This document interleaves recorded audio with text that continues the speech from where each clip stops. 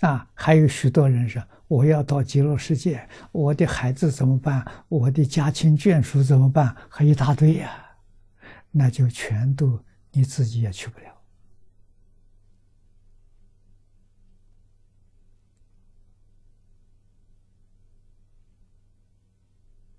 啊，为什么？全是假的。世间这些事啊。缘聚就现前，缘散就消失了。缘聚缘散，你怎么能当真啊？那是那学佛怎么这么感情都没有了？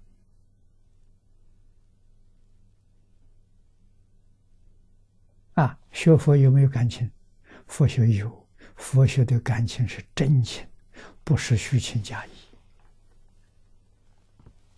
啊，佛对我们有真情，生生世世永远追随、照顾，没有放弃我们，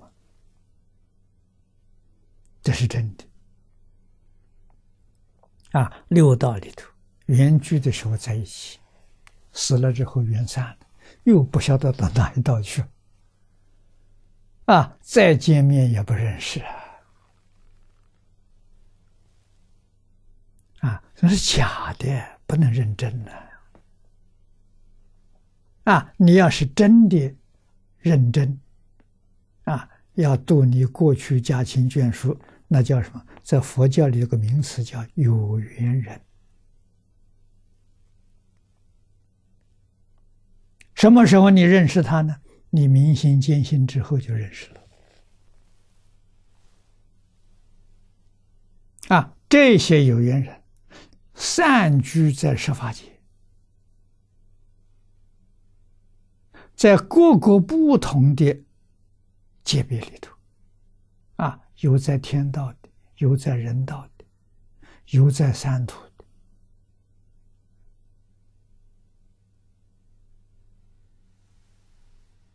啊，只要是跟你过去有过这个缘亲属关系，你通通都能够。能够听到他，他起心动念，你全知道，你都能关注得到。他有困难，你真能帮助他。到那个时候，你跟佛菩萨一样，你有圆满的智慧，有无量的德行。啊，你也会像菩萨一样观起，他是不是真想处理？真想处理就帮他，他不想处理，啊，烦恼习气没扶住，这个不行，这你没成熟，啊，这根熟众生，你根没熟。你还有起心动念，还有分别，还有情执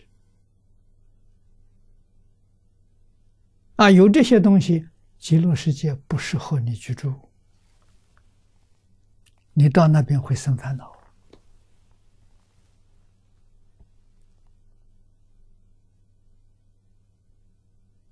啊！所以必须能完全扶住。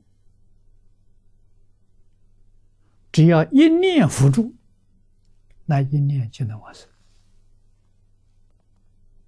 啊，往生到极乐世界是永远辅助，不会起现行。啊，极乐世界没有烦恼的环境，没有造业的环境。啊，到极乐世界，极乐世界没有女人。全是男子，女人到极乐世界都变成男子，啊，这是什么？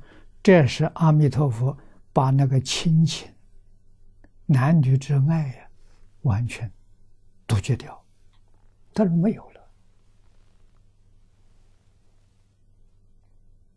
那是他念头都不生了，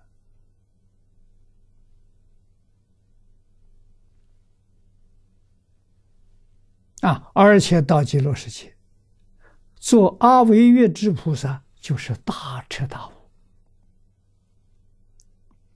变法界、虚空界的真相，你完全见到了，